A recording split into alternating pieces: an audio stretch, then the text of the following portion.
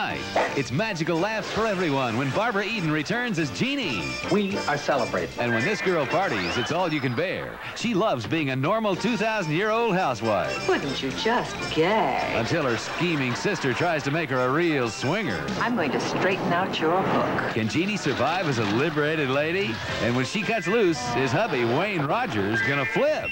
It's mass hysteria. You'll be rolling in the aisles for I Dream of Jeannie 15 years later.